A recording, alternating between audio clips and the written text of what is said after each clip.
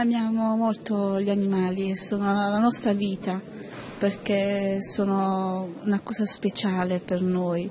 È meglio loro che le persone a volte, sono più fedeli loro che la gente, che c'è molta cattiveria, mentre loro ti danno tanto affetto, tanto amore, non gli chiedono niente, solamente acqua, mangiare, carezze, baci, cocco e tutto il resto. È la prima volta?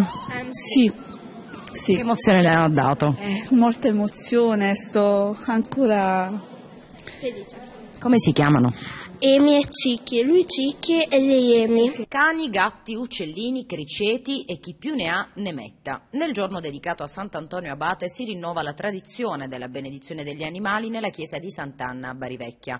È una festa capace di unire grandi e piccoli che in questa giornata si ritrovano per mettere i loro animali domestici sotto la protezione del santo dalla lunga barba bianca.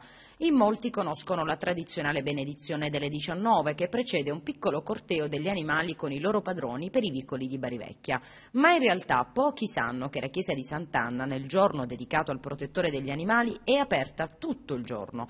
Alle 9 si celebra la prima messa, la successiva alle 11. Al termine il sacerdote permette agli animali, accompagnati dai loro padroni, di entrare in chiesa per la benedizione. Io ho preferito quest'oggi dover chiedere il nome dell'animale e quindi per ciascuno, come faccio con i bambini la domenica quando vengono per essere benedetti i bambini, chiedo il nome, beh, per loro impongo la mano sul capo, eccetera.